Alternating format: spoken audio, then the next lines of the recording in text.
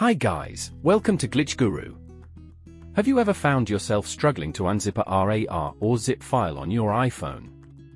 In this video, we will show you how to unzip files on iPhone without any third-party app. Firstly, open the Shortcuts app on your iPhone. Then, tap on the plus icon located at the top right corner of the screen. Next, select the search option and type Extract Archive. Tap on Archive, and then select Shortcut Inputs. Following that, tap on Nowhere and choose Show in Share Sheet from the pop-up menu.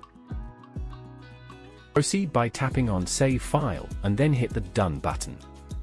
Now, rename the file to Extract.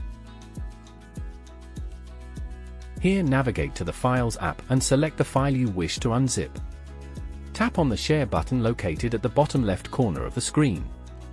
Then, tap on Extract and save the file. You'll notice a tick mark indicating completion.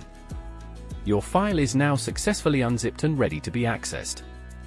If you found this video helpful, leave a comment and subscribe to Glitch Guru for more tips like this.